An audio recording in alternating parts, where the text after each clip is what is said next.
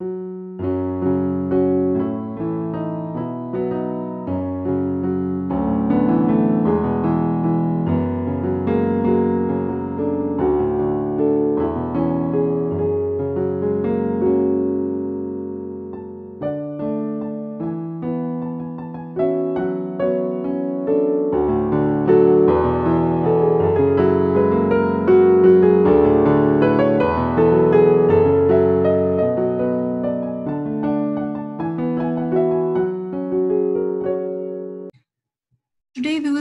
about interspecific interactions.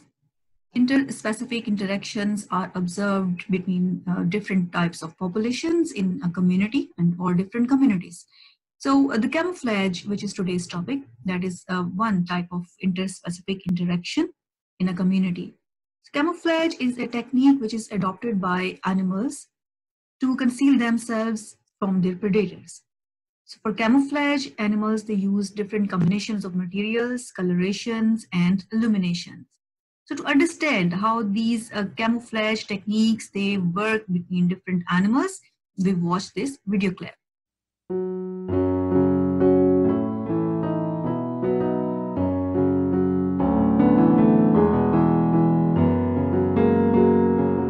So here we can see there is a, a snake and its color is exactly similar to its environment. It's hard to distinguish it from its environmental colors.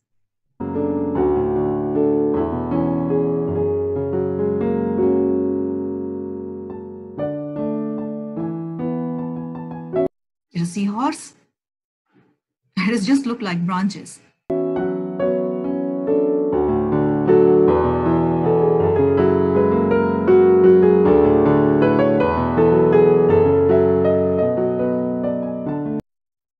And this bird is very much similar to the branches.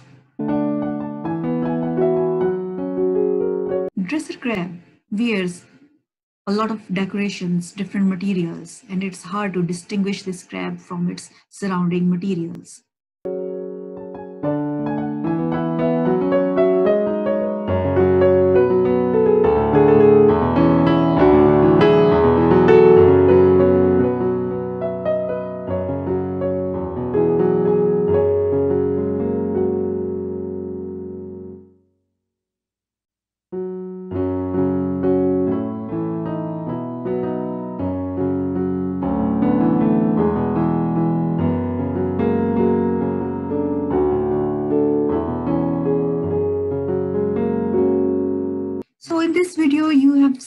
Different examples of camouflage in different animals.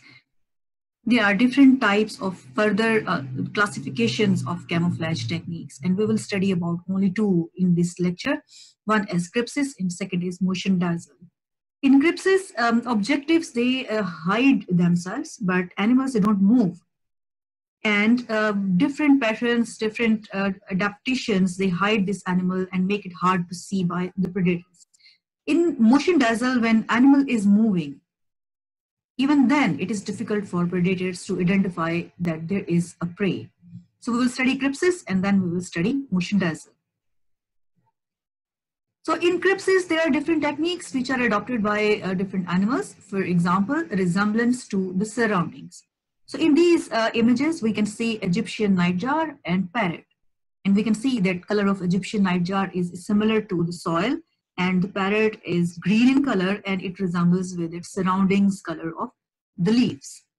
So these colors and these patterns, they make um, them make these animals to mix up with their natural background and it's hard to identify by the predators. Second technique which is adopted in crypsis is disruptive coloration. So these are the examples of leopard and giraffe. Here we can see that both these leopard and giraffe, they have um, different mark, marks and they have different patterns. And each pattern is different from the second one. So these spots, these stripes, these pattern, they break up the outline of an animal. And it is, if these animals, they are seen from far by their predators, they wouldn't uh, easily distinguish the outline of their body because these patterns and markings, they are making themselves, um, these animals, a part of their environment. Third adaptation in crypsis is eliminating the shadow. Shadow is one thing which helps the predators to identify the presence of their prey somewhere. So if this shadow is eliminated, it help the animal to save itself against its predators. So in these animals, for example, the horned lizard, their body is flat and their sides are thin and there are uh, uh, white markings on the sides of their body and it makes them uh, just like a flat sheet on the ground. So um, with these flat bodies, they eliminate their shadow and it makes them uh, protected against the predators. Distraction is another um, adaptation in crypsis. So in this example of bushbuck, we can see there are white uh, markings on the legs, neck, and the body of the bushbuck. So these um, uh, significant markings, they are a distraction for the predator. So instead of focusing to the prey, it is distracted by these markings and um, it, it, it uh, protects it, protects the prey, it protects the bushbuck because uh, the predator is distracted and it is hard for the predator to identify the prey's outline. Self-decoration is a very interesting um, adaptation in Crypsis. You have just seen it in the video too. Um, in, in this type of adaptation, animals, they decorate themselves with different types of materials. For example, in this uh, image, which is a decorator crab, you can see that this animal has decorated itself with um, different materials like small twigs, um, a straw, sand, and um, sometimes they put some uh, shells on their body or um, they sometimes they put some um, porifers or uh, sponges, uh, this kind of uh, materials on their body. And these materials are uh, stuck to their outer shell and it's a kind of decoration. And if the prey look, uh, looks at this type of, predator looks at this type of prey, it would be hard for a predator to identify whether it is a crab or it's, uh, it's just a, a, part of a soil made up of twigs and, um, and, and soil particles and shells and uh, sea anemone or uh, even the corals. So uh, this is the one example. Changeable skin coloration is also an interesting uh, behavior observed in crypsis. Uh, it is commonly observed in chameleon because the chameleon, they are capable of uh, rapidly changing its skin color and the patterns according to the changing environment.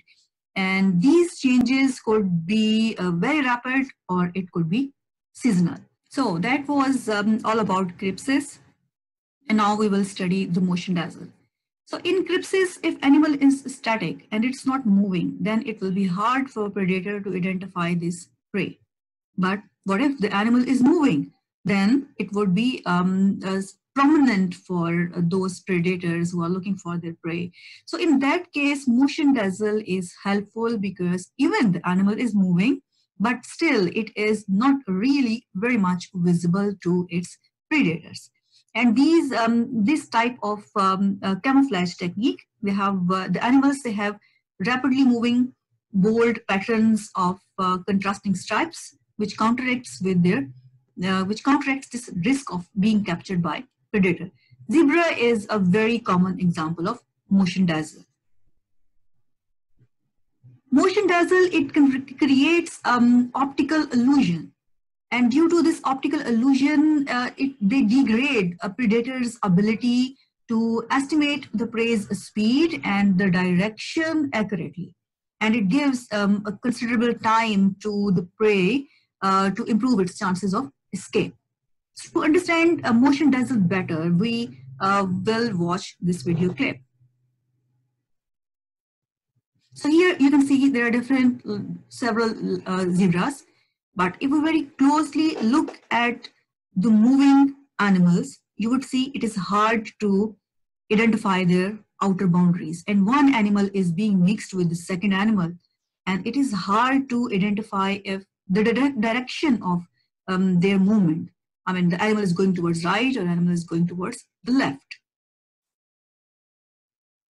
So now we can look from the eyes of a lion.